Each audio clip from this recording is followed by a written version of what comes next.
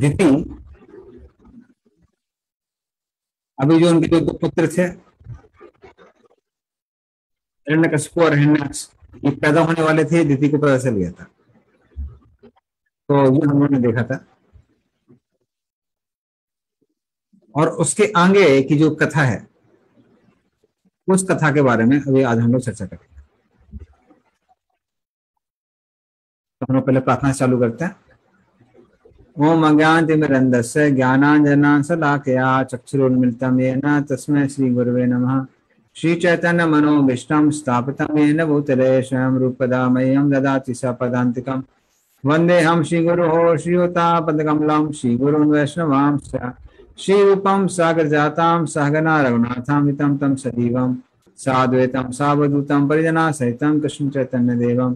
श्री राधा कृष्ण पादान सागना ललिता श्री विशाखामतां स नमो विष्णुपादाय कृष्णपेश्वराय भूतले श्रीमते भक्ति वेदांता स्वामी नित्य नामने नमस्ते सरस्वते देवे गौरवाणी प्रचारिणे निर्विशेष शून्यवादी पाश्चात्य देशतारणे। वाञ्छा कल्पद्रुवैश्चा कृपा सिन्धु एव च पतितानां पावनेभ्यो वैष्णवेभ्यो नमो नमः। नमो महावदन्नाय कृष्ण प्रेम प्रदायते कृष्णाय कृष्ण चैतन्य नाम्ने गौरतस्य नमः।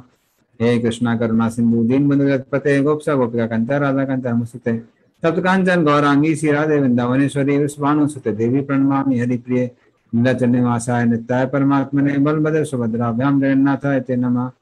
जय श्री कृष्ण चैतन्य प्रभु नित्यानंद, श्री अद्वैत गदाधर शिवासादि गौर भक्तवृंद। हरे कृष्णा हरे कृष्णा कृष्णा कृष्णा, हरे हरे हरे राम हरे राम राम राम हरे। हरे कृष्णा। उसके आगे की, जो कथा है उसके बारे में आज हम लोग चर्चा करेंगे कि आगे क्या क्या होता है।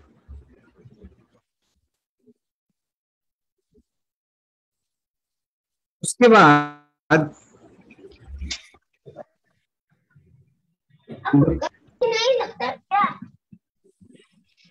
ब्रह्मा जी कथा के बारे में बताया जाता है। कैसे जो चतुष कुमार हैं ब्रह्मा जी के जो पुत्र हैं, वो कैसे वैकुंठ की ओर जाते हैं?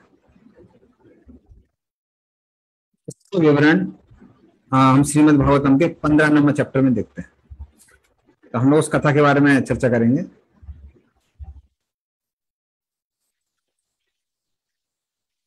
तो सौ वर्षों तक ने अपने गर्भ को रोक के रखा। मतलब बच्चों को पैदा नहीं किया। क्यों नहीं किया? क्योंकि दीदी को मालूम था कि मेरे गर्भ से हिरण्यकशिपु और हिरण्याक्ष पैदा होने वाले हैं, जो कि सारे देवताओं को संतप्त करेंगे और फिर भगवान उनको उनको अवध करने के लिए आना पड़ेगा। मतलब भगवान ही परेशान हो गए इस तरह से दीति अपने गर्भ को सौ वर्षों तक रोक के रखती है। लेकिन उसकी वजह से क्या होता है कि हिरण्यकशिपु हिरण्याक्ष अभी पैदा नहीं हुए थे। अपनी माता के गर्भ में ही थे। लेकिन उनके प्रभाव से सारी दिशाओं में अंधकार छाने लगता है। इस अंधकार को देख के सारे देवतागण ब्रह्मा जी के पास जाते हैं और ब्रह्मा जी से प्रार्थना करते हैं कि ब्रह्मा जी बताइए, क्या हुआ है? किस कारण से सारी दिशाओं में अंधकार छाया हुआ है? और फिर वो ब्रह्मा जी को कहते हैं कि आप तो काल के परे हैं। कोई भी ऐसी चीज़ नहीं है जिसको आप जान नहीं सकते। क्योंकि ब्रह्मा जी के पास ही बहुत सारी शक्तियाँ हैं। तो कृपया करके बताइए, क्यों ये अंधकार है? आप जानते हैं, हर व्यक्ति क्या सोचता है? आप उसके मन को पढ़ सकते हैं, ये शक्ति आपके पास है। किस कारण से कौन सी चीज़ हो रही है, ये भी आप जानते हैं। क्योंकि तो आप ये सारी चीज़ें जानते हैं तो कृपया करके हमको बताइए कि अंधकार किस कारण छाया हुआ है? आप विज्ञान वीर हैं। हर चीज़ का आपने साक्षात्कार भी किया, सिर्फ़ ज्ञान आपको नहीं है, विज्ञान भी आपको है। तो कृपया करके हमको अपने विज्ञान के माध्यम से बताइए, क्या कारण है ये अंधकार का? हम इस अंधकार के कारण को समझना चाहते हैं। उस तरह से वो ब्रह्मा जी की तारीफ़ करते हैं। फिर कहते हैं कि सारे के सारे जो चौदह भवन है, वो उनका आपने निर्माण किया है। जीवों के शरीर का आपने सृजन किया है। बल्कि आप पर ध्यान करके लोग अपने मन और इंद्रियों पर काबू प्राप्त करते हैं, ताकि उनको आपकी कृपा मिले। तो इसलिए आप, क्योंकि वेदों का ज्ञान देने वाले हैं, हम सब आपका सम्मान करते हैं। कृपया बताइए ये अंधकार क्यों आ रहा है? देवता लोग भी अनुभवी नहीं थे, देवताओं लोगों को भी थोड़ा सा तो ज्ञान था। इसलिए देवता लोग कहते हैं जितनी गर्भ से अंधकार आ रहा है, इतना तो हमको समझ में आ रहा है। लेकिन इस समस्या का समाधान क्या है, वो हमको पता नहीं है। इसलिए कृपया करके उस समस्या का समाधान कीजिए। और जब ब्रह्मा जी ऐसा सुनते हैं, तब ब्रह्मा जी क्या करते हैं, अभी हिरण्यकशिपु हिरण्याक्ष कौन है, उनका इंट्रोडक्शन देने के लिए वो उनकी कथा सुनाते हैं कि हिरण्य हिरण्यकशिपु हिरण्याक्ष आए कहाँ से? तो फिर वो बताते हैं, जैसे आप लोग देख रहे हैं।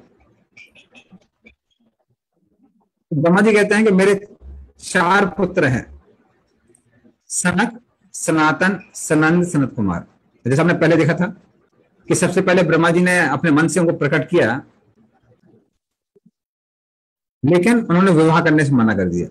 और ब्रह्मा जी क्रोध आता है और भ्रगुटी के मध्य से भूत उत्पन्न होते हैं। तो बोले कि चतुष कुमार है, मेरे जो चार पुत्र हैं, ये लोग सक्षम है। ये जहाँ चाहे हैं, वहाँ जा सकते हैं। तो हर जगह घूमने की क्षमता इन चतुष कुमारों के अंदर है। कभी कभी वो पूरे भौतिक जगत में, पूरे आध्यात्मिक जगत में बिना किसी कारणवश ऐसे ही घूमते रहते हैं, विचरण करते रहते हैं। तो ऐसे घूमते घूमते घूमते घूमते घूमते घूमते एक बार वो लोग वैकुंठ लोग पहुँच गए। वो वैकुंठ लोग जिसको बोलते हैं सर्वलोक नमस्कृतम। सभी लोग उस वैकुंठ का सम्मान करते हैं। और फिर वो क्या करते हैं?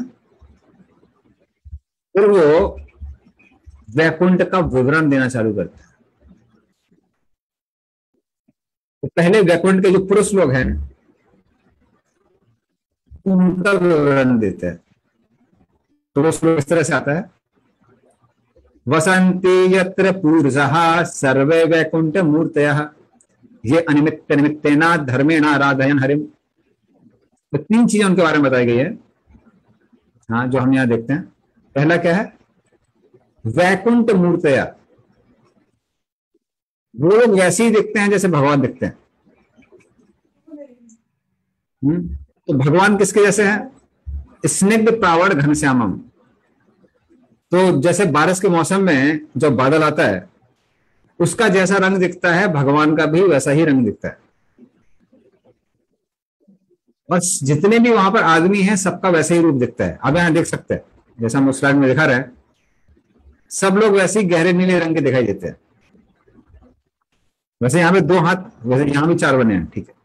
एकदम सही डिस्क्रिप्शन है। और वैकुंठ में भगवान के चार हाथ हैं, हर पुरुष के वहाँ पर चार हाथ होते हैं। इसको बोलते हैं सारूप्या, सारूप्य मुक्ति। उनका रूप किसके जैसा होता है? भगवान जैसे ही होता है।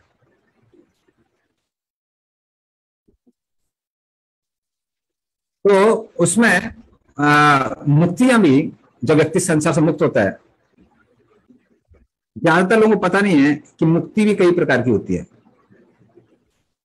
कौन कौन सी मुक्ति होती है? पहली होती है सायुज्य। सायुज्य मतलब कृष्ण के शरीर से जो ब्रह्म ज्योति निकल रही है,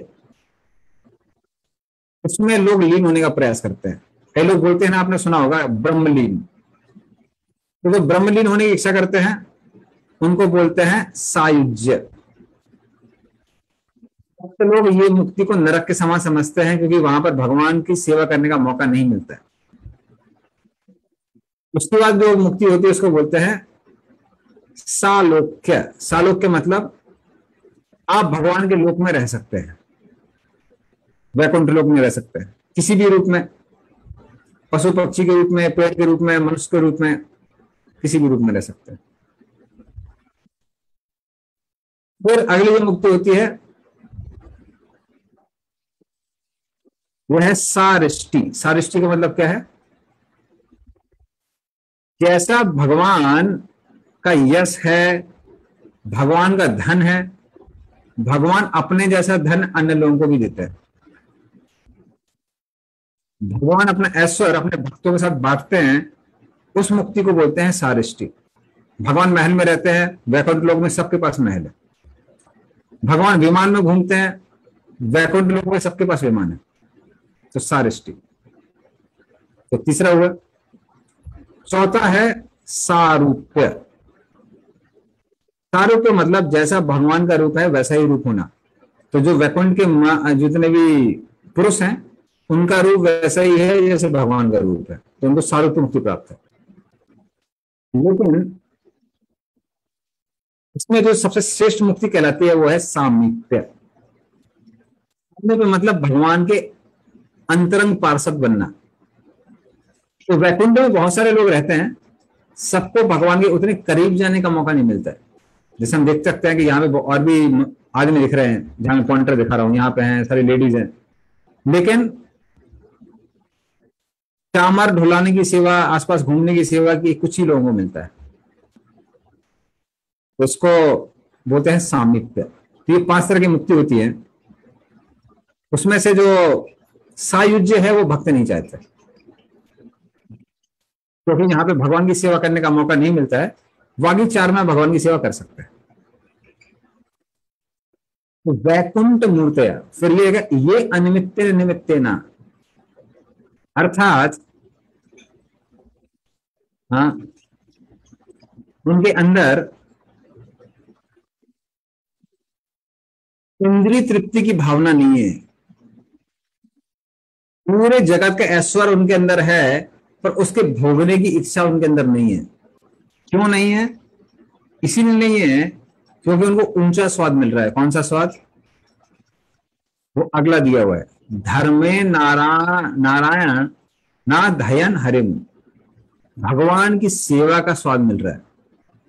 जिस व्यक्ति को भगवान की सेवा मिल जाती है और उसको सेवा का आस्वादन करने का मौका मिलता है उसको संसार का ऐश्वर्य अच्छा नहीं लगता है। तो इस तरह से ये वैकुंठ वासियों का क्या है? उनका रूप है ऐसा, भगवान जैसा, और ये उनकी भावना है। उनको आनंद किसमें आता है? भगवान की सेवा में आता है। इंद्रियों को तृप्त करने में आनंद नहीं आता है। तो ये वैकुंठ के लोग ऐसे हैं, आदमी ऐसे हैं। और वैकुंठ के जो भगवान हैं, उनके बारे में अगले श्लोक में बताया गया यत्र चाद्यापमानास्ते भगवान शब्द गोचर। सत्तम विष्टभ्य विरजम स्वानाम नो मृदयन वृषह उनके बारे में बताते हैं। यत्र चा आद्यापमानास्ते मतलब वो कौन है? वो आदि पुरुष है। जो भगवान है। जैसे कई बार कुछ लोग रूपा से पूछा करते थे तो भगवान की क्या परिभाषा है? तो प्रोपात बोलते थे आपके कोई पिताजी हैं? बोले हाँ। उनके कोई पिताजी हैं? बोले हाँ। उनके कोई पिताजी है? हाँ। तो जिसके कोई पिताजी नहीं है, जो सबके पिताजी हैं, वो कौन है? वो भगवान है। ये भगवान की परिभाषा है। इसलिए क्या लिखा है? चाद्या पुमान। लेकिन उन भगवान को हम समझ कैसे सकते हैं? भगवान शब्द गोचर। शब्द मतलब है वेद। वेदों की वाणी से हम भगवान को समझ सकते हैं। और सप्तम विष्टव्य विरजम। वो जो भगवान है, वो शुद्ध सत्व में है। शुद्ध सत्व कैसे हम समझ सकते हैं? ये संसार में सत्यगुण रजोगुण, तमगुण से हम लोग बंधे रहते हैं। कभी हम लोग सत्यगुण में होते हैं। तो शांति की अनुभूति होती है। समझ में आता है कि उचित क्या है, अनुचित क्या है। रजोगुण में बहुत आकांक्षाएँ आती हैं, बहुत मेहनत करने का मन करता है। बहुत इंद्र तृप्ति की भावना आती है तो हम रजोगुण में। और आलस में पड़े रहते हैं तो तमोगुण से बंधे हुए हैं। तो हर व्यक्ति संसार में तीन गुणों से बंधा है, लेकिन वैकुंठ जगत के प्राणी और भगवान तो तीन गुणों से बंधे नहीं है। और स्वानाम नो मेडयन वसहा। उनका कार्य क्या है? ये देखना कि भक्त लोग भक्ति में प्रगति कर रहे हैं कि नहीं कर रहे। ये उनका मेन काम है। तो भक्तों के भक्ति की प्रगति के बारे में सोचते रहते हैं प्लान करते रहते हैं कि ये लोग कब भगवान के धाम वापस आएँगे, ये कब मेरे धाम वापस आएँगे। क्यों क्योंकि भगवान को मालूम है कि हम लोग भगवान के धाम में ही खुश रह सकते हैं, यहाँ इस जगत में खुश नहीं रह सकते। जैसे हमने देखा था पिछले स्लाइड में भी। इस संसार में लोग इतना प्रयास करते हैं, शक्ति अर्जन करने का, रूपवान बनने का कैसा सुंदर दिखाई पड़े हमेशा कभी मरे ना, कभी बूढ़े ना हो, कभी कुछ बीमारी ना हो। ये इच्छाएँ कहाँ से आ रही हैं? ये हर आत्मा की इच्छा है कि हम सब लोग कहाँ के रहने वाले हैं? आध्यात्मिक जगत के रहने वाले हैं। तो ये जो जो भी प्राणी यहाँ पर, आदमी यहाँ पर हैं, सब बहुत सुंदर हैं देखने में, बहुत शक्तिशाली है। कोई रोग नहीं होता है इनको, ये लोग कभी बूढ़े नहीं होते, कभी मरते नहीं है। इस तरह ये सारी की सारी चीज़ें वैकुंठ वासियों के पास है, जो इस जगत में नहीं है। ये वहाँ के भगवान का विवरण है। अगला विवरण जो है, वहाँ के वनों का है। उसका श्लोक इस तरह से यत्र श्रेयसम नाम वनम काम दुभेर द्रुमे सर्वत्र श्रीभिर्विभ्राजत, कैवल्यम एवं मूर्तिमत। इस संसार में अगर हम देखेंगे, जो वन होते हैं हम लोग यहाँ गौशाला में रहते हैं, जब लोग कुछ समय के लिए आते हैं, बड़े खुश रहते हैं। लेकिन जैसे रात का समय होता है तो कभी कभी कुछ कीड़े आने लगते हैं। कुछ दिन पहले यहाँ बहुत पानी भर गया था तो रहना मुश्किल हो जाता है। कभी मच्छर आ जाते हैं, इस समय एक हरा वाला कीड़ा आता है। इस तरह से जो साधारण वन है संसार में, देखने में बड़े सुंदर दिखाई देते हैं, लेकिन इनमें कष्ट बहुत है, इस संसार के जो वन है। इसलिए लोग तपस्या करने के लिए वन में जाते थे कि वन में कष्ट मिलेंगे, कष्ट मिलने से हमारे पाप छीर हो जाएँगे, पाप खत्म हो जाएँगे। तो दो कारण है, एक तो वन सप्तगुण में होता है, और दूसरा उसमें कष्ट बहुत होता है। तो वो तपस्या कहते हैं इसलिए। तपस्या मतलब दुख को सहन करने को तपस्या कहते हैं। इस तरह से इस संसार के वन वैसे हैं, लेकिन वैकुंठ के वन ऐसे नहीं है। न श्रेयसम। श्रेयस का मतलब क्या है? वो सब कुछ शुभ करने वाले अच्छा करने वाले हैं। वहाँ भी सांप नहीं आएगा जो आपको डसेगा, कोई मच्छर नहीं काटेंगे, कोई कीड़े नहीं काटेंगे। किसी समय तरह की परेशानी नहीं रहेगी। वनों में कई बार जो वो होते हैं इवन वनों की जो मिट्टी होती है, धरती होती है, उबड़ खाबड़ होती है। उसमें सोना बड़ा मुश्किल है तो बड़ा कष्ट है। फिर दूसरा बात क्या लिखा है उसके बारे में? काम दुगैर द्रुमे। वहाँ के जो वृक्ष हैं, उनको बोलते हैं कल्प वृक्ष। या फिर हाँ कल्प वृक्ष ही कहते हैं। वो कौन से वृक्ष हैं? वो वृक्ष हैं जो आपकी सारी इच्छाओं को पूरा करने में सक्षम है। जैसे इस संसार में जो पेड़ हैं, वो वही फल देते हैं जिसके पेड़ होते हैं। अगर नीम का पेड़ है तो नीम का फल देगा, आम का पेड़, आम का फल नहीं देगा। और कब फल देगा? जब उसके फल का मौसम आएगा, तभी फल देगा। जैसे आम का पेड़ है, गर्मी के मौसम में आपको कच्चा मिलेगा और जैसे बारिश होने लगती है, लू पड़ने लगती है तो वो पकने लगता है। सर्दी में बोलेंगे तो आम नहीं मिलेगा। लेकिन इन वृक्षों में हर समय फल लगते हैं और जिस चीज़ का फल चाहिए वैसा फल मिल जाता है। आपको नीम के पेड़ में आम का पेड़ चाहिए, आम का फल चाहिए तो आम का फल मिल जाएगा। और भगवान जब इस संसार में आते हैं तो ऐसे ही लीला भी करते हैं। जब नित्यानंद प्रभु आए थे राघव पंडित के घर में, पानीहाटी में, जो कि कलकत्ता के पास में है तो वो कहने लगे, हमको दमनक फूल की माला चाहिए। नहीं नहीं, दमनक के नहीं, इसकी कदम कदम के फूल की माला चाहिए तो वो कहने लगा अरे यहाँ तो ये कदम का मौसम नहीं है और कदम के जो फल हैं, जो पुष्प हैं, वो तो वृंदावन में ज़्यादा मिलते हैं, बंगाल में भी हैं, पर उतने दिखते नहीं है, मायापुर में आपको दिखेंगे। तो उन्होंने बोला, बाहर के जाओ, जो पेड़ है, वहाँ पे जाके देखिए, आपको मिल जाएँगे। और वो देखते तो वहाँ मिल जाते हैं। तो वो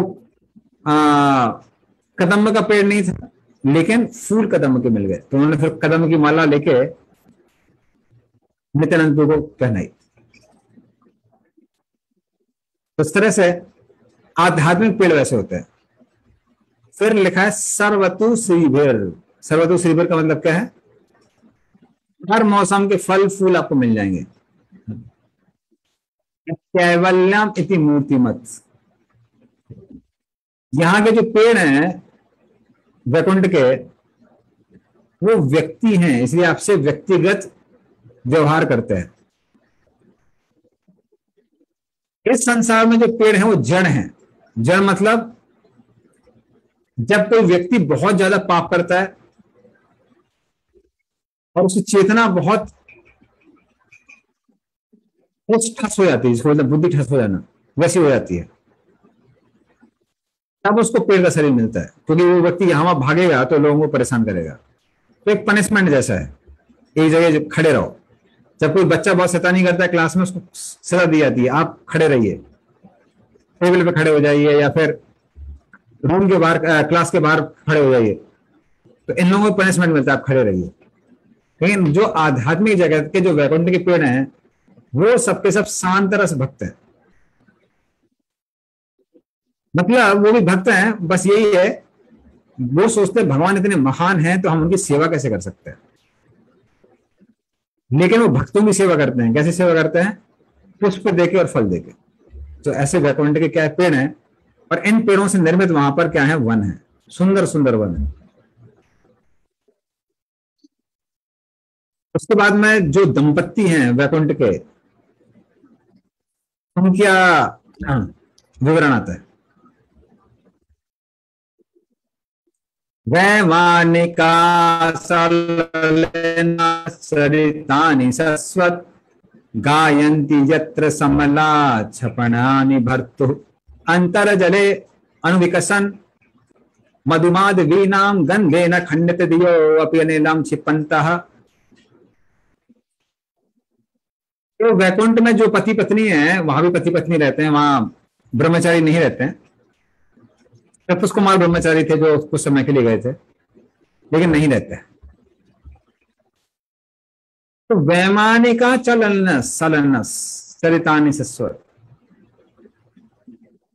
तो वो विमान में रहने वाले जितने भी जो दंपत्ति लोग हैं, वो कहाँ घूमते हैं? विमान में घूमते हैं। सबका पर्सनल एरोप्लेन है।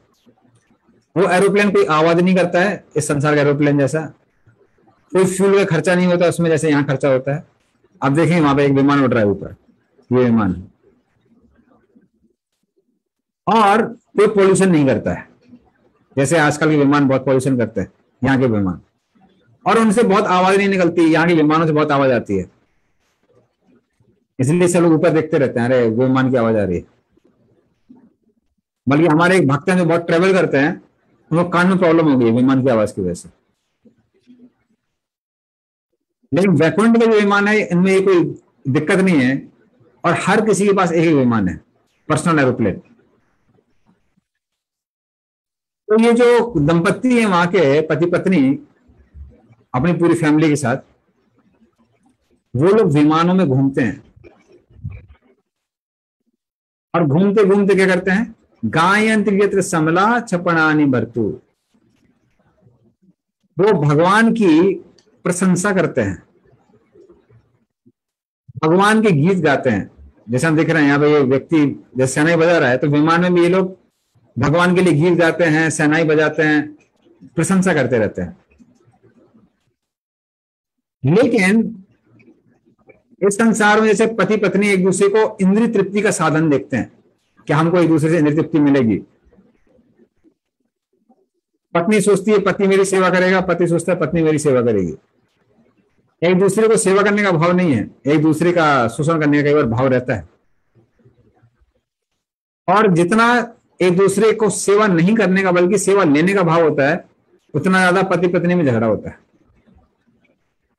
क्योंकि हर समय सेवा नहीं मिलेगी, सेवा में कभी विघ्न आएगा। विघ्न आएगा, क्रोध आएगा क्रोध आएगा, झगड़ा होगा, इसलिए झगड़ा होता है। लेकिन आध्यात्मिक जगत में सबके अंदर सेवा का भाव है, वो भगवान की प्रशंसा करते रहते हैं और भगवान की प्रशंसा करते करते इतने ज़्यादा आनंद में रहते हैं कि गंधे गंधेना खंड दियो अपनी अनिलम छिपंती कि माधवी जो वहाँ के वृक्ष हैं, जो फूल हैं, माधवी लता के, उनसे जब वायु बहती है तो वो सुगंधित वायु जब उनकी नाक में घुसती है तो उनको लगता है कि ये सुगंध मुझे नहीं चाहिए। क्यों नहीं चाहिए? क्योंकि सुगंध भगवान की सेवा में मन को नहीं जाने दे रही है। थोड़ी सी इंद्र तृप्ति उनको अच्छी नहीं लगती है, क्योंकि उनको एक ऊँचा आनंद मिल रहा है। कौन सा आनंद मिल रहा है? भगवान की सेवा का आनंद। तो टेस्ट जिसको बोलते हैं, ऊँचा रस। तो जब व्यक्ति को ऊँचा रस मिलता है तो इंद्रिय तृप्ति का रस अच्छा नहीं लगता है। उसी तरह से अगर भक्त लोगों के जीवन में भगवान केंद्र होते हैं, तब वो क्या कर सकते हैं? तब वो इंद्रिय तृप्ति की भावना को छोड़ सकते हैं। इसलिए भक्ति ठाकुर कहते हैं, जे देन ग्रहे कीर्तन सुनी, ग्रहे ते गोलोक भया। जब भी मैं घर में अपने काम ऑफ़िस से काम करके फिर वो हाईकोर्ट जज थे। जब भी वो अपने ऑफ़िस से काम करके घर में लौटते थे और वो सुनते थे कि अरे हमारे बच्चे लोग कीर्तन कर रहे हैं पत्नी कीर्तन कर रही है तो वो क्या बोले, गोलोक ग्रह थे, गोलोक भया। तो हमको लग ही नहीं रहा था कि घर है, ये क्या है, गोलोक वृंदावन बन गया। तो जब भगवान की लोग स्तुति करते हैं, भगवान का कीर्तन करते हैं तो घर घर नहीं रहता, वो कैसा बन जाता है? वैकुंठ। कभी हम वैकुंठ का अर्थ बताएँगे। वैकुंठ का मतलब क्या है? कुंठा का मतलब क्या है? उद्विग्नता एंजाइटी वैकुंठा मतलब जहाँ कोई एंजाइटी नहीं है। इस संसार में हमेशा एंजाइटी बनी रहती है। पैसा आएगा कि नहीं आएगा? अभी रिसेशन आ गया है। जॉब लगेगा तो नहीं लगेगा? जॉब लग जाता है, डर लगता है कंपनी निकालना दे। या फिर ट्रांसफ़र ना कर दे, या फिर पता नहीं प्रमोशन होगा कि नहीं होगा। हाइक मिलेगी, नहीं मिलेगी सैलरी में। लेडीज़ को हमेशा एंग्जाइटी रहती है, ये काम टाइम पे पूरा होगा कि नहीं होगा, वो टाइम काम टाइम पे पूरा होगा कि नहीं होगा। बच्चे बिगड़ तो नहीं जाएँगे तो बहुत एंग्जाइटी रहती है। लेकिन वैकुंठ मतलब जहाँ कोई कुंठा नहीं है, जहाँ कोई एंग्जाइटी नहीं है। वो वैकुंठ भी घर में बन सकता है, अगर घर में केंद्र क्या है? भगवान की सेवा और भगवान का कीर्तन। ये अगर सेंटर है। इसलिए ग्रस्त लोगों को कम से कम शाम के समय, कुछ समय तक कीर्तन करना चाहिए साथ में। ये जपकुंड के कौन है? दंपत्ति है। उनके बारे में बताया गया। होंगे वैकुंठ की जो पक्षी हैं, उनका विवरण आता है। पारावतान भृत सारस चक्रवाका धातुर्य हंस सुखतित्तरि बर्हिणाम्य, कोलाहलो विरमते अचिर्मात्रमुच्चे भृंगादिके हरिकताम गायमाने। तो अलग अलग वहाँ पक्षी हैं। सारस सारस है, चक्रवाक, हंस वहाँ पर है, सुख मतलब तोता तितिरी वहाँ पे है। तो इस तरह से अलग अलग और बरहीना मतलब मोर, ये सब है वहाँ पर। सब यहाँ दिखाई दे रहा है। मोर है, तोता है। तो ये सब वहाँ पर भी है। और कोला हलो वीरमते, और वो काफ़ी कलरव करते हैं। और पक्षियों का कलरव बड़ा मधुर सुनाई देता है। ये गौशाला में फ़ायदा है। हम लोग आते हैं, कलरव सुनाई देता है पक्षियों का सुबह सुबह सुबह और शाम के समय। लेकिन इस संसार में जो पक्षी कलरव करते हैं, वो कलरव करते हैं किसके लिए? आहार, निद्रा भयमथुन ढूँढने के लिए। भोजन कहाँ है? या फिर घोसला कहाँ है? तो आहार निद्रा भाई मैथुन को ढूंढते हैं, लेकिन वहाँ के जो पक्षी कलरव करते हैं तो बड़ा मधुर लगता है। लेकिन वो सब कलरव बंद कर देते हैं, जब उनको क्या सुनाई देता है? भृंग। भृंग का मतलब है भौरा जब गूंजने लगता है तो ये सारे के सारे पक्षी लोग चुप होके भौरे की आवाज़ को सुनते हैं। क्यों सुनते हैं? क्योंकि भौरा क्या करता है? हरी कथा करता है। ऐसा लगता है हरी कथा कर रहा है। हरे कृष्णा, कुछ तो ऐसी आवाज़ होती होगी। तो भौरा वैसे भौरा की आवाज़ बड़ी, बहुत ज़्यादा मधुर नहीं होती है। कोयल की आवाज़ बड़ी मधुर होती है, तोते की बड़ी मधुर होती है, मोर की बड़ी मधुर होती है। लेकिन अगर भौरा भी अगर हरी कथा कर रहा है तो हरी कथा सुनने में उनको ज़्यादा आनंद आता है। इसलिए वैकुंठ में कोई कंपटीशन नहीं है। इस संसार में कंपटीशन लगी रहती है। पक्षियों में तो बहुत कंपटीशन होती है। इसलिए आप देखेंगे, पक्षी लोग बहुत झगड़ा करते हैं। जो लोग रहते हैं वन में वो, या फिर खेत वगैरह में, गाँव में वो देख सकते हैं। लेकिन, और लोगों में तो कंपटीशन भी है। बच्चों में कंपटीशन है कौन फ़र्स्ट आएगा? तो जब जॉब लग जाती है लोगों में कंपटीशन रहती है। किसका प्रमोशन होगा, किसको ज़्यादा सैलरी मिलेगी? लेडीज़ में प्रमोशन होता है, कौन ज़्यादा सुंदर देखेगा? सब लोग ब्यूटी पार्लर जाते हैं। तो ये संसार कंपटीशन का संसार है। लेकिन जो भगवान का संसार है, वहाँ पर कोई कंपटीशन नहीं है। सब लोग एक दूसरे से हरी कथा सुनना चाहते हैं। तो ये वैकुंठ की क्या है? पक्षी फिर आगे, वहाँ के जो पौधे हैं, उनके बारे में आता है। मंदार कुंद पुर बोत्पल चंप कर्ण, पुन्नाग नाग बकुलामुच पारिजात गंधे अर्चिते तुलसी का भरणे न तस्य, यस्मिस्तपासु मनसो बहुमानयंती ये सब अलग अलग पेड़ पौधों का नाम जो है? मंदार, कुंद पुरबोत्पल चंपकर्ण पुन्नाग नाग बकुल अमुज मतलब कमल। पारिजात। पारिजात क्या बोलते हैं, एक फूल अगर एक शहर में आता है तो पूरा शहर महकने लगेगा, खुशबू आने लगेगी। ये अलग अलग पेड़ हैं जो अलग अलग सुगंध देते हैं। लेकिन गंधे अर्चिते तुलसी का वर्णन तस्या। जब वे तुलसी को देखते हैं वो, और तुलसी गंध को सुनते हैं, कई लोग, और यह साधारण जो लोग होते हैं, वो तुलसी की खुशबू को नहीं सुन पाते लेकिन तुलसी की सुगंध भगवान को बहुत पसंद आती है। तो तुलसी की जो सुगंध है, वो आध्यात्मिक है, वो आध्यात्मिक चित्रण देती है। इसलिए तुलसी के पौधा घर में रखते ही हमको फ़ायदा होने लगता है। तो कई तो रोग वगैरह भी ठीक होते हैं, लेकिन चेतना कैसी हो जाती है? आध्यात्मिक चेतना हो जाती है। एक तुलसी भगवान को बहुत पसंद है। भगवान नाम से अपने चरणों में तुलसी को ग्रहण करते हैं, भोजन में तुलसी को ग्रहण करते हैं। गले में भी जो वजंती माला है वजंती माला पाँच तरह के रंगों में फूल की बनी होती है और बीच में तुलसी होती है उसमें। इस तरह से तुलसी भगवान को बहुत पसंद है। और तुलसी ने बहुत तपस्या की है। इसीलिए भगवान तुलसी से इतना प्रेम करते हैं। और ये जो बड़े बड़े पौधे हैं, जिनके अंदर बहुत खुशबूदार सुगंधित पुष्प होते हैं, वो भी तुलसी को प्रणाम करते हैं। उस तरह से आध्यात्मिक जगत में कोई द्वेष नहीं है। कह रहे तुलसी में तो कोई फूल दिख नहीं रहा है, फल दिख नहीं रहा है। फिर भी तुलसी को इतना पोजिशन क्यों, हमको पोजिशन क्यों नहीं मिल रही? है वो लोगों के अंदर द्वेष की भावना नहीं है। एक दूसरे की जो भक्ति है, उसका पौधे लोग क्या करते हैं? सम्मान करते हैं।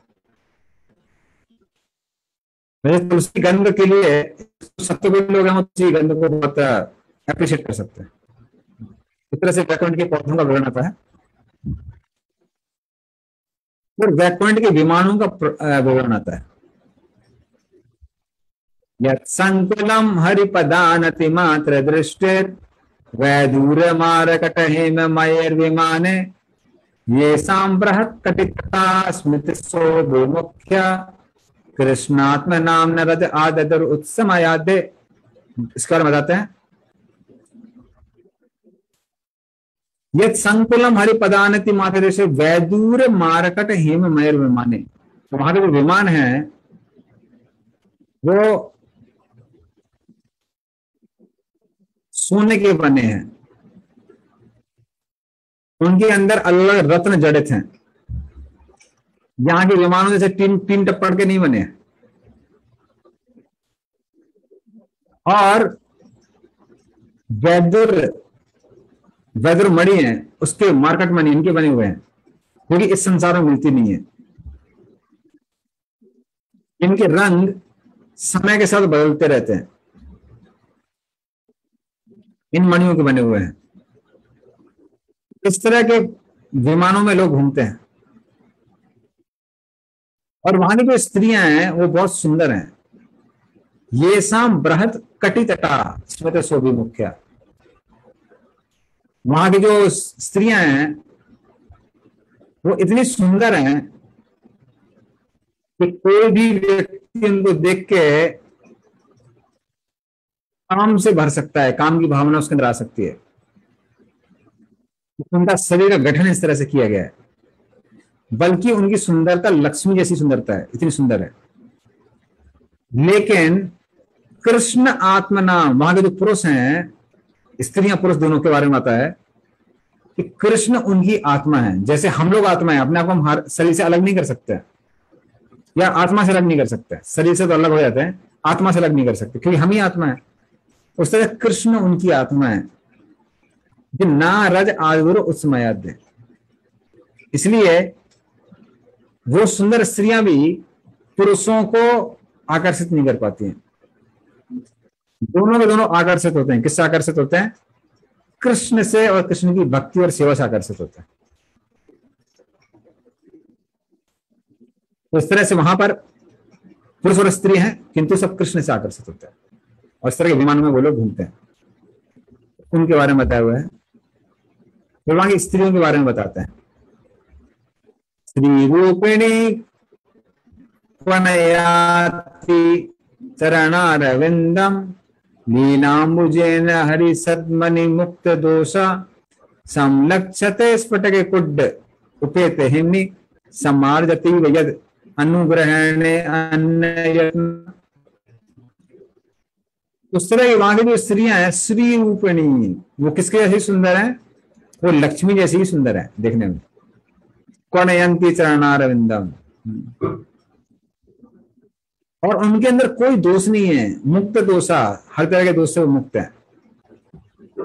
और वो हमेशा भगवान का ध्यान अपनी ओर आकर्षित करने का प्रयास करती रहती हैं। कि मैं ऐसी सेवा करूँगी कि भगवान मेरी ओर आकर्षित हो जाए। इसी तरह से भगवान प्रसन्न हो जाए।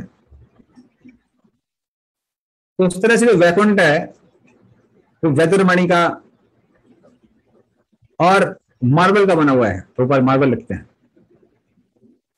और एकदम सुंदर है, कहीं भी कोई भी धूल नहीं है, फिर भी वहाँ पे स्त्रियाँ क्या करती हैं, झाड़ू लगाती रहती हैं। एक तरह से झाड़ू लगाती हैं, वहाँ पे ध्यान रहता है, और दूसरा जो आँख है वो लगी रहती है भगवान पे। तो शायद भगवान मेरी सेवा देखिए प्रसन्न होंगे। तो धूल नहीं है, फिर झाड़ू क्यों लगा रही हैं? भगवान की सेवा करने के लिए। उस तरह से भगवान की सेवा की कोई कमी नहीं है। जगह गंदी भी नहीं है। आप साफ़ करते रहिए, सोच के भगवान प्रसन्न होंगे तो भगवान प्रसन्न हो जाते हैं। इस तरह से स्त्रियों का जीवन का एक ही लक्ष्य होता है कि भगवान को किसी तरह से प्रसन्न करना। तो ये वैकुंठ की स्त्रियाँ हैं। तो सौंदर्य अभिमान नहीं उनके अंदर, सेवा का भाव है।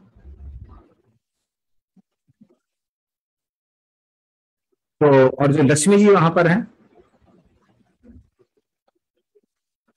उनके बारे में आता है।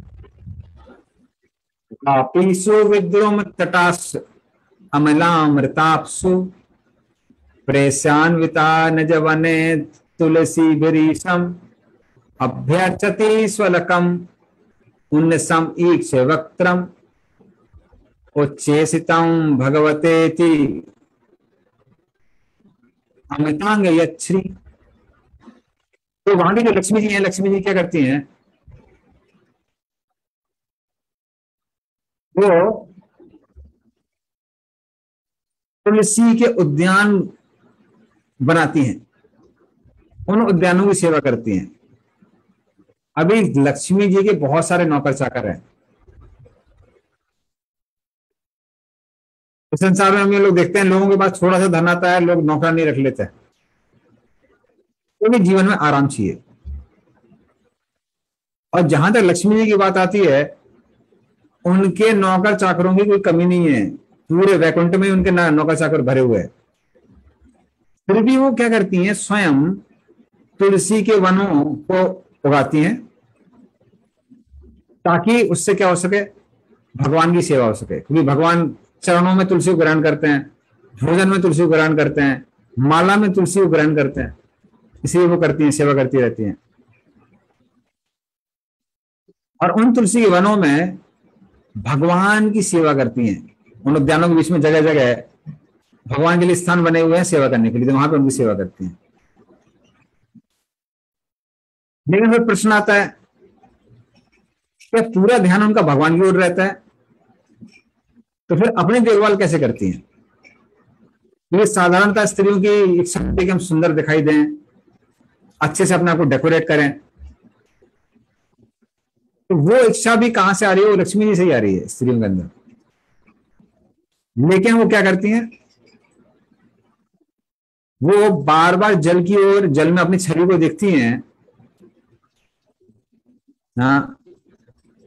और देखती हैं कि भगवान ने हमको स्पर्श किया है, हमको चुमन लिया है, इसलिए हम कितने सुंदर दिख रहे हैं।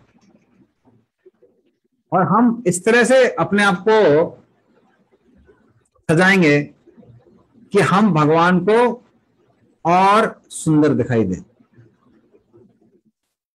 तो अपना जो उनका डेकोरेशन है, जो सजाती सवरती हैं, वो सिर्फ़ किस लिए करती हैं? मात्र भगवान को प्रसन्न करने के लिए। उस तरह से इंद्रिय तृप्ति की भावना नहीं है। ये नहीं है कि हमको सबसे सुंदर लगना है। नहीं, हमको सुंदर इसलिए लगना है ताकि भगवान जब हमको देखेंगे तो उनको आनंद प्राप्त हो। तो उसके अंदर भी क्या है? सेवा का भाव है। तो ये लक्ष्मी जी के बारे में विवरण आता है।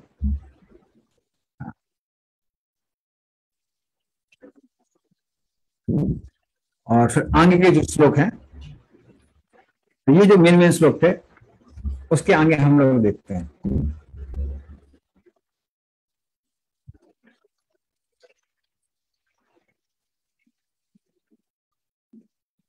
तो फिर प्रश्न आता है कि ठीक है, वैकुंठ इतना सुंदर है। क्या हर कोई वैकुंठ जा सकते हैं? हम लोग वैकुंठ जा सकते हैं। हाँ जा सकते हैं, पर कुछ लोग नहीं जा सकते हैं। कौन नहीं जा सकते हैं? उसके बारे में विवरण आता है। यन्नाव्रजन्ति अधिविदो रचनानुवादात् छिन्वन्ति ये अन्य विषया कुकथा मतिग्नि यास्तु श्रुता हत बगे निवर सारस। ताम स्थान छपंती सरणे सुतमस्सु हंता तो वो लोग, वो जिनका वैकुंठ के बारे में जानने में कोई इंटरेस्ट नहीं है। और जब वैकुंठ के बारे में जानने में कोई इंटरेस्ट नहीं है तो वैकुंठ के बारे में सुनने में इंटरेस्ट कहाँ से आएगा इसीलिए जिसका भक्ति से कुछ लेना देना नहीं है, भगवान की सेवा से कुछ लेना देना नहीं है हुँ? या फिर जिन लोगों का कोई भी आध्यात्मिक रुचि नहीं है जिनके अंदर, ऐसे लोगों के बारे में क्या बताया हुआ है ऐसे लोगों के बारे में बताया है कि उनके अंदर अन्य चीज़ों की ओर आकर्षण आता है। अन्य चीज़ें कौन कौन सी? वो चीज़ें हैं जो इस संसार की चीज़ें हैं और जो कहाँ ले जाने वाली हैं? तमस्सु हंता। जो व्यक्ति को नरक ले जाने वाली है, उन चीज़ों में बड़ा आनंद आता है।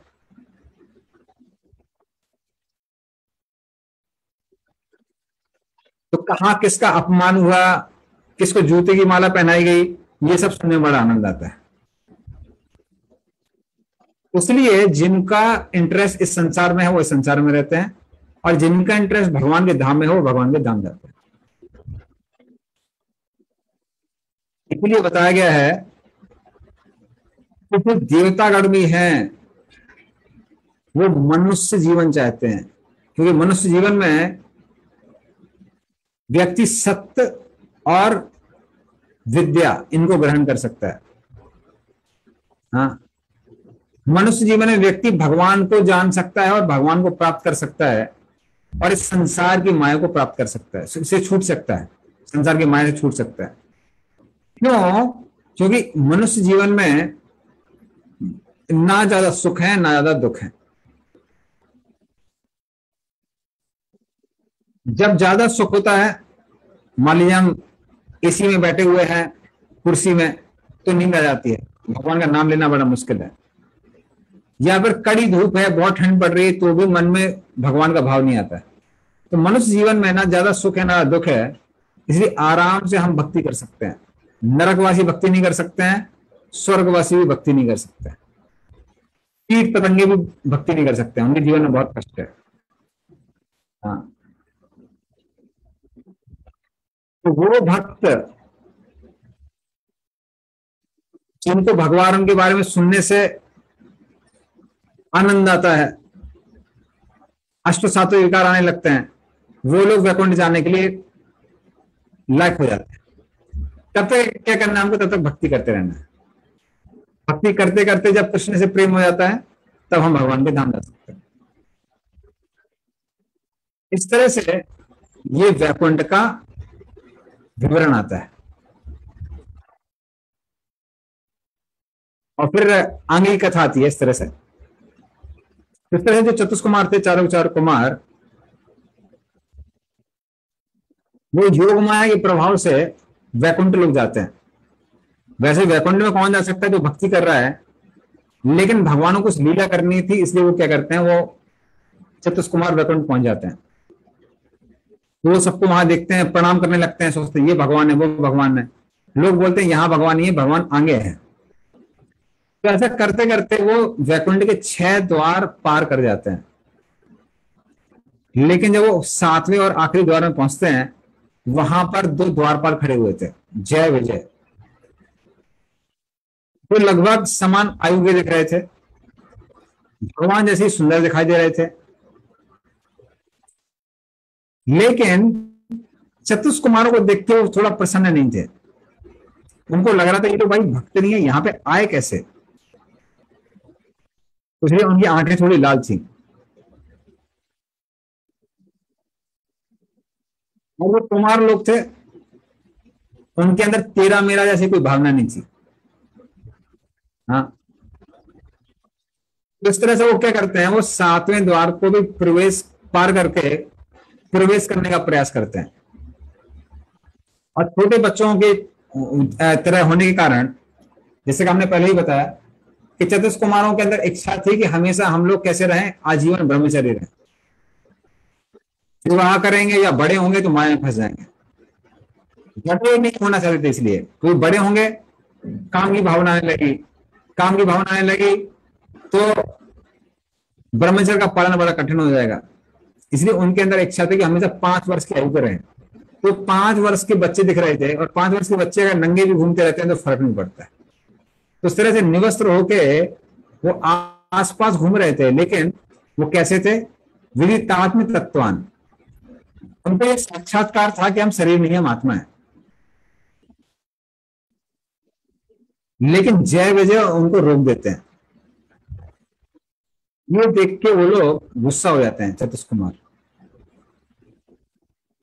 उनके बारे में बताया इसलिए कि वो क्या हो जाता है उनको? उनको वो प्रभावित हो जाते हैं कामानुद से। कामानुद मतलब काम का छोटा भाई।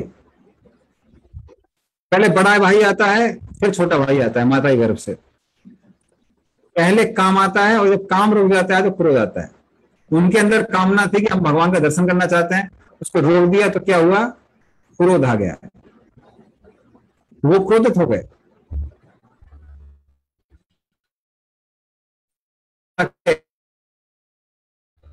तो जय विजय को उन्होंने श्राप दे दिया। क्या श्राप दिया? अरे तुम लोगों को भगवान की सेवा प्राप्त है वैकुंठ के अंदर। उनको इतनी ऊँची पदवी मिली है, लेकिन विषम स्वभाव तुम्हारा स्वभाव तो भक्तों ऐसा नहीं दिख रहा है। तुम्हारे अंदर तो शत्रुता का भाव दिख रहा है। इसलिए तुम लोग धोखेबाज हो। तुम लोग ढोंगी हो, भक्त नहीं हो। इसलिए क्योंकि तुम ढोंगी हो, तुम सोचते हो दूसरे लोग भी ढोंग कर रहे हैं। इसलिए तुम हम लोगों को अंदर जाने से रोक रहे हो। ये वैकुंठ जगत है। यहाँ के लोगों में और भगवान में बहुत अच्छा सामंजस्य है। तो यहाँ किस चीज़ का भय? तुम लोग बोल रहे हैं, तुम द्वारपाल हो। भय है, कोई भगवान को परेशान ना करे। अरे जब भगवान और भक्तों में सामंजस्य है तो भय की बात कहाँ से आती है? इसीलिए क्योंकि तुम शत्रु और मित्र में भेद देख रहे हो। हम तुमको श्राप देते हैं। कि तुम भौतिक जगत में जाओगे।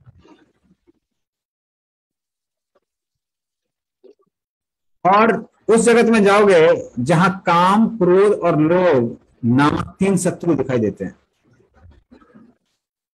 इस तरह से चतुष कुमार क्या कर बैठते हैं? वैष्णव अपराध कर बैठते हैं। वैष्णव चरणों में अपराध कर देते हैं। लेकिन जय विजय क्या करते हैं? जय विजय जब देखते हैं तो ब्राह्मणों का श्राप लगा है। तो बड़े भयभीत हो जाते हैं और उनसे क्षमा मांगने लगते हैं। और जय विजय कहते हैं, आपने जो भी हमको श्राप दिया है, उस श्राप को हम लोग ग्रहण करते हैं। चरणों पे करके कहते हैं, लेकिन आप हम पर करुणा का भाव दिखाइए इसलिए हम, हमारी एक ही आपसे रिक्वेस्ट है आग्रह है कि भले ही हम लोग भौतिक जगत जाएँ, लेकिन भगवान को कभी भूले नहीं। ये हमारी इच्छा है। भौतिक जगत जाने को तैयार हैं बुक प्राप्त करने के लिए तैयार हैं, लेकिन भगवान को नहीं भूलना चाहते। भौतिक जगत में जो सबसे बड़ा कष्ट है, वो कष्ट है भगवान को भूलने का कष्ट। इस तरह से जय जब आग्रह करते हैं, वो देख के चतुष कुमार उनका हृदय द्रवित हो जाता है। चतुष कुमार क्या सोचते हैं? वो सोचते हैं, हमने वैष्णव अपराध किया है। हमने श्राप दिया है। ये लोग तो भगवान के दास हैं। चाहे तो वो श्राप को ग्रहण करने की इनको ज़रूरत नहीं है। लेकिन क्या नम्रता है क्या इनके अंदर? उल्टा ये हमको श्राप दे सकते हैं, दंड दे सकते हैं। ये क्षमता उनके अंदर है। लेकिन वो लोग क्या कर रहे हैं? इनके अंदर ये नम्रता है, प्रतिकार नहीं कर रहे हैं। बल्कि हमसे क्षमा याचना कर रहे हैं। सिर्फ़ भय इस बात का है कि भगवान को कभी भूले ना। इन वैष्णव को गुणों को देखकर उनके अंदर भक्त बनने की इच्छा प्रकट होती है। इसलिए जब हम भक्त के संपर्क में आते हैं, तभी हमारे अंदर भक्ति करने की इच्छा आती है। भक्तों के संपर्क में नहीं आएँगे तो भक्ति करने की इच्छा नहीं आएगी। तो भगवान जब ये देखते हैं कि ये सब झमेला चल रहा है बाहर तो लक्ष्मी जी के साथ वहाँ पर आते हैं। हाँ। लक्ष्मी जी के साथ क्यों आते हैं? लक्ष्मी जी के साथ इसलिए आते हैं ताकि उनको लक्ष्मी जी की कृपा मिले और लक्ष्मी की कृपा से उनको भक्ति मिले। तो भक्ति की ओर उनका आकर्षण आ गया। अब अगर लक्ष्मी की कृपा मिलेगी राधा रानी की कृपा मिलेगी तो भगवान भी कृपा कर सकते हैं। इसलिए हम हरे कृष्ण पहले हरे बोलते हैं राधा रानी को आकर्षित करते हैं। फिर कृष्ण की कृपा मिलती है। तो कृष्ण प्रेम किसके पास है? वो राधा रानी के पास है, लक्ष्मी जी के पास है। तो वो लक्ष्मी जी के साथ वहाँ पर आते हैं। और चतुष कुमार जिन्होंने भगवान को मात्र हृदय में ही देखा था अब वो देखते हैं कि अरे भगवान आ रहे हैं अपने भक्तों के साथ। और भगवान के रूप को देखकर चतुष कुमार बहुत आकर्षित हो जाते हैं।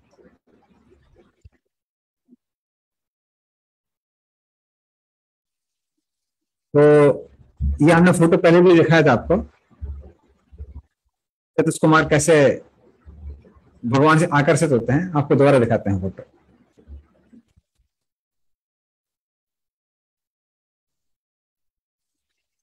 जैसे चतुष कुमार बहुत आकर्षित होते हैं भगवान के रूप को देख के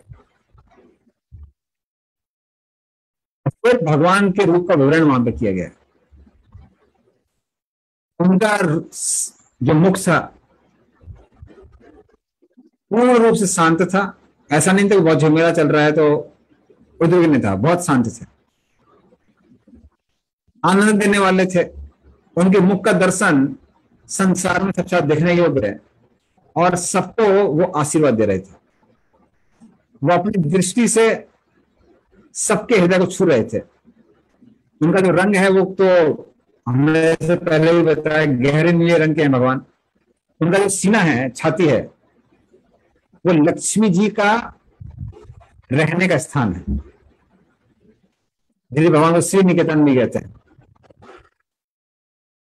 उनके कमरे में, कमर में उनकी कमर में पीताम्बरी थी। हाँ जिसमें कमर बंद बंधा हुआ था। गले में वजंती माला, जिसके आसपास बहुत सारी मधुमक्खियाँ घूम रही थी। गले में फिर सुंदर सा एक हार भी था और कॉस्ट्यूम बनी थी गले में। उनका एक जो हाथ था, वो गरुण जी के ऊपर था और वो दूसरे हाथ से क्या कर रहे थे? कमर को घुमा रहे थे। उनके जो का गाल थे, वो मकर कुंडली कारण उनके कान में जो बाले हैं, वो कुंडल है, वो मकर जैसे दिखते हैं, सार्क। उसी कारण गाल में क्या आ रहा था? गाल में उसकी रोशनी आई थी रिफ्लेक्शन आ रहा था। जिसके कारण गाल और भी सुंदर दिख रहे थे। नाक एकदम उठी हुई और सर पे एक सुंदर सा मुकुट था। जब उनको देखते हैं तो भगवान की ओर आकर्षित होते हैं। लेकिन साथ में क्या होता है? भय भी था क्या रे उनके भक्तों का भी अभी हमने पार्षदों को क्या किया है? उनको, उनका तिरस्कार किया है, अपमानित किया है तो वो भय भी उनके अंदर था। और जय विजय दुखी होकर क्षमा याचना मांग रहे थे। लेकिन भगवान दोनों तरफ़ देखते हैं, मुस्कुराते हैं, दोनों स्पेसिफाई करते हैं। सब लोग संतुष्ट हो जाइए। और भगवान का जो रूप है, वो भगवान भक्तों के कारण और भी सुंदर हो जाता है, भगवान का जो रूप है। और लक्ष्मी जी की सुंदर से, सुंदरता से भी ज़्यादा बढ़ के है भगवान की सुंदरता। सारे देवताओं से वो पूजनीय है। जब कुमार उनको देखते हैं, देखते ही प्रणाम करने लगते हैं उनके चरणों पर जब वो प्रणाम करते हैं तो उस समय क्या होता है, कुछ ऐसी चीज़ें होती है इस कारण वो भक्त बन जाते हैं। वो क्या है? तस्यारविंद नयन से पदारविंदा, किंजल मिश्र तुलसी मकरंद वायु अंतर्गता स्विवरेण चकार शोभा तेसाम संक्षोभम अक्षर जुषाम अभिचित्य तन्वो। तस्विंद नयन से पदारविंद। जो चरण कमल हैं, उसमें किंजल के मिश्र तुलसी। तो उसमें आप देख ही सकते स्लाइड में कि तुलसी दिखाई दे रही है। तो भगवान के चरणों में जो तुलसी थी, उससे जो वायु निकली, जैसी उस वायु ने चतुष कुमारों के नाक में प्रवेश किया, उनका आकर्षण भगवान से इतना बढ़ गया कि जो भी ब्रह्म ज्ञान और ब्रह्म ज्योति और उनका जो आकर्षण था, वो सब खत्म हो गया। और वो लोग भक्त बन गए। तो पहले भक्तों की कृपा मिली, फिर लक्ष्मी की कृपा मिली। उसके बाद भगवान की कृपा मिली तुलसी के माध्यम से, जिससे वो लोग भक्त बन गए। और वो बार बार भगवान के रूप को देखने लगे। और इस तरह से वो शांत रस भक्त बनते हैं। लेकिन ऊँचे भक्त नहीं बनते दस रस भक्त नहीं बनते क्योंकि क्या किया था? जय वजह के चरणों में अपराध कर दिया था। ये वही रूप है जो बड़े बड़े योगी जिस रूप पर क्या करते हैं? ध्यान करते हैं। उसके बाद कुमार लोग भगवान से प्रार्थना करते हैं। वो कहते हैं, हे भगवान, आप पापी पुरुषों के समक्ष नहीं आते हैं। लेकिन हमने जो ब्रह्मा जी सुना था, इसलिए हम लोग पहले नहीं देख पा रहे थे आपको। लेकिन जो जो हमने ब्रह्मा जी सुना था कि आप ऐसे दिखते हैं, इतने सुंदर हैं, आज उसका हमको साक्षात्कार हो गया है कि आप वैसे ही बहुत सुंदर हैं। हमारे पिताजी ने कुछ गलत नहीं बोला था। अनुताप विदितेर। हमने इतनी तपस्या की, उससे भी हम आपको नहीं जान सकते हैं। आपकी कृपा से हम जान सकते हैं। लेकिन आपकी कृपा हमको मिली कैसे? दृढ़ भक्ति योगे तो दृढ़ भक्ति योग उस कारण मिलते हैं। तो हमान, हमने जो थोड़ी बहुत भक्ति की, उसके कारण आप हमको मिले यहाँ से। तो बड़े बड़े जो तपस्वी हैं, जो वैरागी हैं, वो भी आपको तभी जान सकते हैं जब वो क्या करते हैं? भक्ति करते हैं। और फिर वहाँ बोलते हैं नाते निकतम निकतम विटनयति अभी ते प्रसादम किम भयम ध्रुव उन्नयस्ते ये अंग तद अंग्री शरणा भवता कथाया कि तन्न तीर्थ यशसा कुशला रसज्ञा तो जो भक्त आपके चरणों में समर्पित हैं, जो रसों को जानने वाले हैं वो आपकी कथा में क्या लेते हैं? हरी कथा में बहुत आनंद लेते हैं, उनको बड़ा आनंद आता है। बोलते हैं, बंद मत करिए, हरी कथा सुनाते रहिए।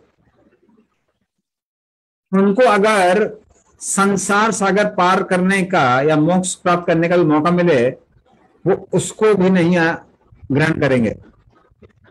और स्वर्ग के सुखों में कहना ही क्या है? तो वो आगे भक्ति की प्रशंसा करने लगता है। कामम भवा स्विजन व्रजनेर नर ये सुनास्ताच। चेतो यदि नु, ते पटयो रमेता वाचस। चनस तुलसीवत यदि ते अंग्रि शोभा, पूर्यत ते गुण गुणे यदि कर्ण रंध्रे वो कहते हैं उनको थोड़ा लगता है कि भाई हमने अपराध तो कर दिया है। भगवान के पार्षदों को श्राप दे दिया है। तो बोलते हैं कि अगर आप हमको नरक भेजना है, हम तैयार हैं। लेकिन हम प्रार्थना करते हैं। क्या प्रार्थना करते हैं? कि अगर आप हमको नरक भी भेजें तो हमारा, हम, हमेशा हमारा मन आपकी सेवा में लगा रहे।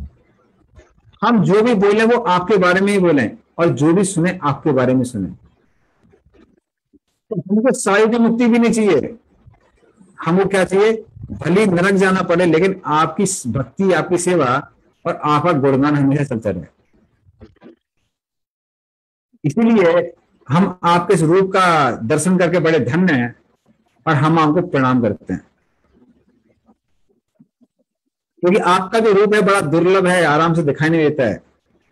लेकिन आप हमारे समक्ष प्रकट हुए हैं। इसलिए हम लोग पूर्ण रूप से संतुष्ट हो गए हैं। हमारी दृष्टि और हमारा मन। आज दोनों के दोनों तृप्त हो गए, इसलिए भगवान हमको कुछ और नहीं चाहिए। तो इस तरह से ये चित्र कुमार भगवान की प्रशंसा करते हैं, लेकिन मन में हमेशा एक त्रुटि रह जाती है, वो लगता है, हमको लगता है, कष्ट होता है। क्या कष्ट होता है?